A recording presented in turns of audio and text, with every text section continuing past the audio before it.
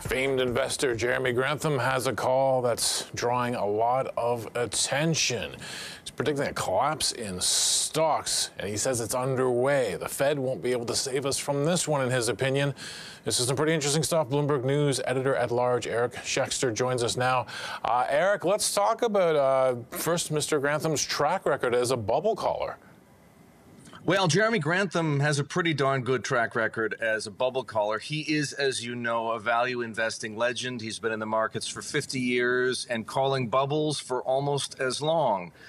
He called the great Japanese stock and real estate bubble back in the late 80s. He called the tech bust in 1999 2000. And he was onto the housing bubble here in the United States before the financial crisis of 2008. So his track record is awfully good. And he says this bubble, what he describes as a super bubble, is only one of four the United States has seen in the past century. It is a multi sigma deviation from trend. That's a statistical term. He says it comes around exceedingly rarely, and when it does, the patterns are unmistakable, and the inevitable result is, as you say, a crash. Okay, so that's some uh, pretty pretty tough medicine to hear, and the track record obviously is there. Let's talk about some of the scenarios that he's mapping out here.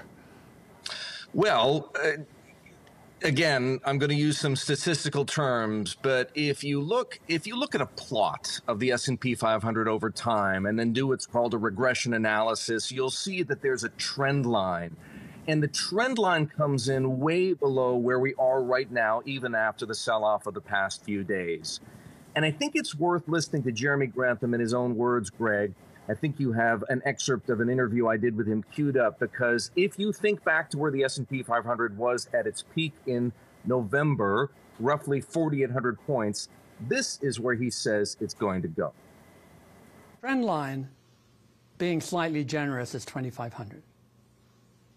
And most of the great bubbles, the super bubbles, go below trend and stay there for quite a while. Uh, in the Greenspan era, that tendency stopped. In 2000, yes, the NASDAQ came down 82%, which was fairly brutal. Amazon came down 92. But the Federal Reserve raced to the rescue so loudly and strongly that they stopped the decline in the S&P at trend line. It only declined 50%. 50% is a hell of a big decline, uh, but it was only enough to get it back then to trend. This time trend is at most 2,500. And I would expect, even if the Federal Reserve tries to do the same, it will be hard to prevent the market from declining to that level.